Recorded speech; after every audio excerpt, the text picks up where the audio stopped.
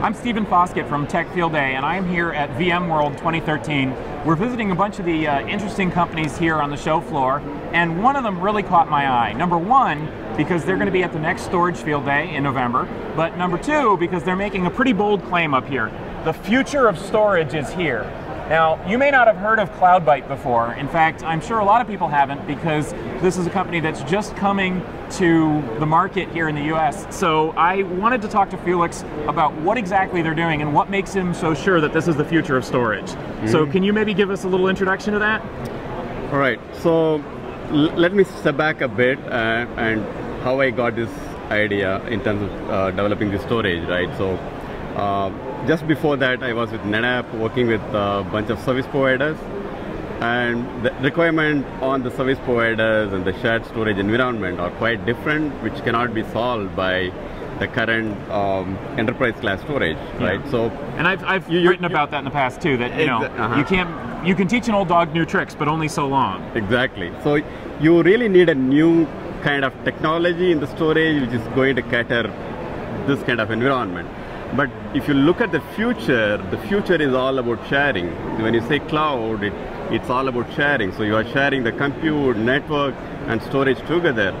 So this is a technology going to rule the world in the future because this is really meant for this kind of shared environment. Mm -hmm. What we really do is, in this shared environment, we virtualize the storage and define everything at the software level uh, to guarantee the performance for each of the applications running on this shared infrastructure. So that really makes it as a future.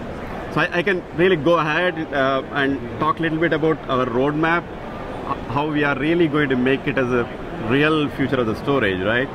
So if you think about Facebook or Google's of the world, they have put enough intelligence in their applications such that it can be globally working from anywhere, delivering same kind of the performance, right? Okay. But tomorrow, one enterprise application has to come up and deliver the similar level of performance across the globe.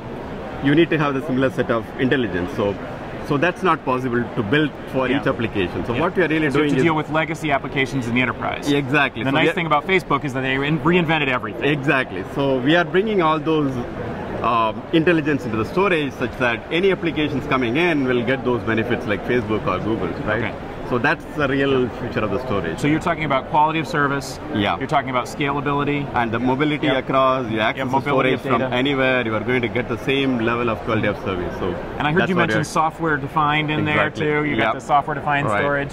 So um, there's well, I, I, can't wait to hear really how it works and how it works under the hood. Exactly. And I, I think that it's safe to say that that's what you're going to be talking about in exactly. November at Storage yep. Field Day. Uh-huh. So um, if you if he's caught your attention here, uh, come on by the the booth here in, at VMworld or uh, visit their website. The CloudByte website is www.cloudbyte.com. Just cloudbyte.com. Okay. Yep. And um, if you're really interested in a deep dive, uh, come on uh, in November, uh, Storage Field Day. We're going to be talking to CloudByte. We're going to have Felix there, -huh. and he's going to go into depth about the exactly. architecture of the product and how it really works with a uh, panel of independent storage experts uh, who hopefully will be able to kind of dig in and figure out uh, what this product really is. Yep. So just mm -hmm. go to techfieldday.com and you can find out more about that event. But for now, thank you very much, Felix. It's thank good to meet much. you. Yep. Thank you.